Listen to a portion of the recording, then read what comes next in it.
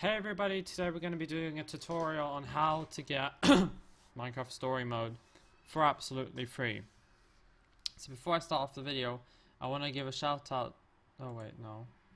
I want to give a shout out to Eating Games for showing me how to get this game, and I'm really thankful to him. And so basically, I'm going to link this in the description if you want to download it. I think what I might do is that I'm going to put this in a media file, so if they take away this download, I'm going to, I'll have a backup, because I don't really want people to remove this. So all you have to do is click on download through your browser, because these two just basically download um, Mega, and you don't really want that. So you would have to click on that, and this would come up. Since I already have it downloaded, I don't really need to do it or anything. And once you have everything downloaded, you should have something like this. So what you want to do is double click it. And then you want to click on install. And this is basically just going to like start installing stuff like on your computers. No, no viruses or anything. Just, you know, stuff which you need to record. And you just have to keep waiting and waiting and waiting and waiting. And then it's just, there should be some pop-ups here, but you just have to ignore them and just remove them.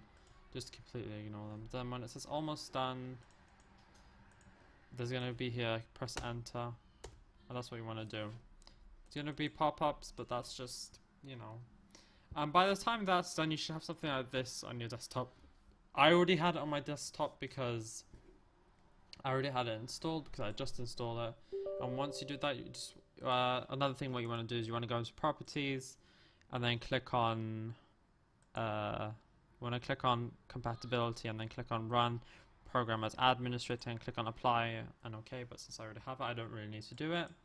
So you want to double click that click on yes. And that's basically the game. You probably might not see this because I'm okay wait.